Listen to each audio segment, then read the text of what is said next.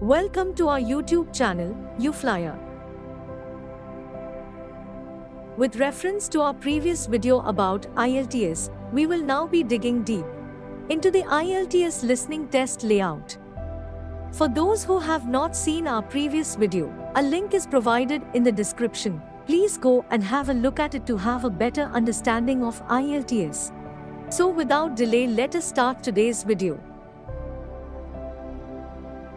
The time allotted for the IELTS listening examination is 30 minutes.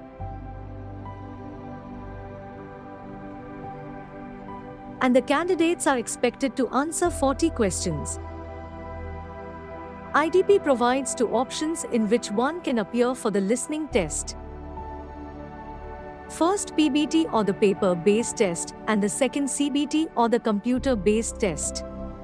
In paper-based test, 10 minutes extra time is allotted to the candidates to transfer their answers to the final answer sheet, whereas only 2 minutes of extra time is allotted for computer-based test takers to submit their answers. Pencil and paper are provided by the examination center.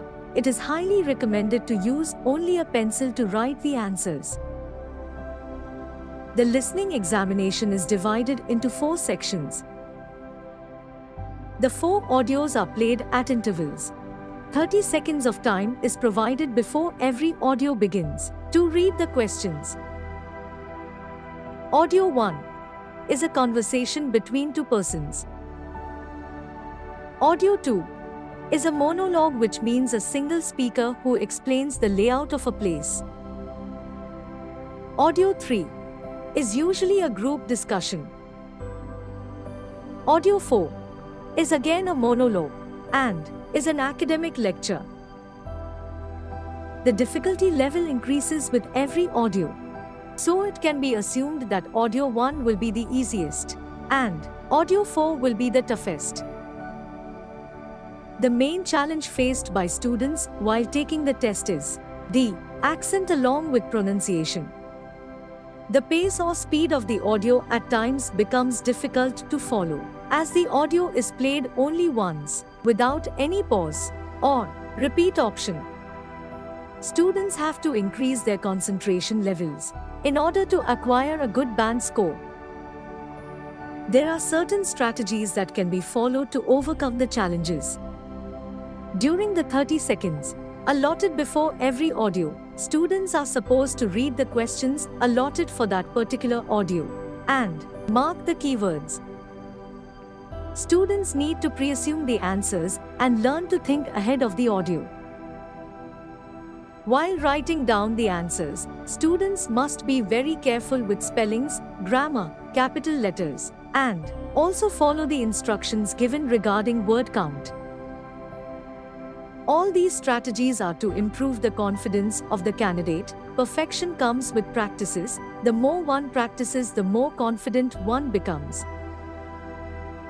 Moreover, it is a wrong concept or a myth that IELTS listening examination can be entirely answered in capital letters if you are attempting a CBT test. The scoring pattern is each correct answer is allotted 1 mark. There is no part marking or negative marking. The highest band score is 9. The conversion table is attached for your convenience. Kindly go through the same and note how many answers you need to correct for achieving your desired band score. I hope the video was helpful. Stay tuned for IELTS Listening in Details, Part 2, for more in-depth details which will benefit you and help you all in preparing for the test.